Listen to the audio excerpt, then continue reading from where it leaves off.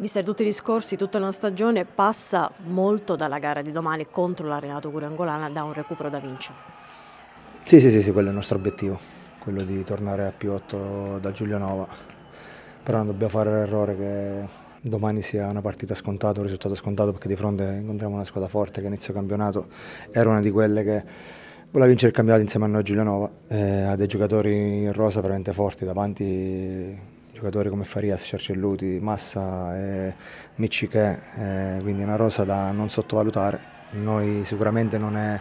una partita scontata, da risultato scontato, però noi abbiamo un obiettivo troppo importante da raggiungere. Non, dobbiamo fare, non dobbiamo fare l'errore di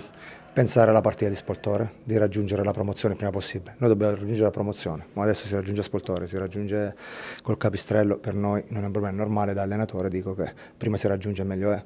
però ancora non è fatta, eh, domani ci, ci, sarà una partita difficilissima, però l'importante è che i ragazzi si fanno trovare pronti. Mm, diciamo ci vogliamo prendere una piccola rivincita nei confronti dell'Angolana che è una delle squadre insieme a Giovanova che ci ha battuto. Lì abbiamo fatto una bruttissima prestazione, forse la peggiore insieme a quella del derby.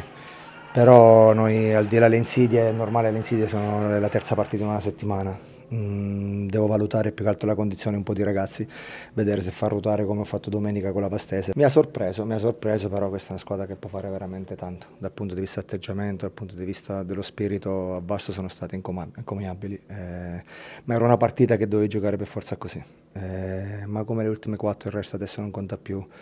il bel gioco, la prestazione di un singolo, adesso conta il risultato, ma vedete pure quando facciamo gol, tutta la rosa che va a esultare tutti quanti insieme, questo è un grosso segnale per l'allenatore. So che non ci vuoi pensare, però ti fa sorridere pensare di tornare allo Zanni domenica, visto l'anno scorso.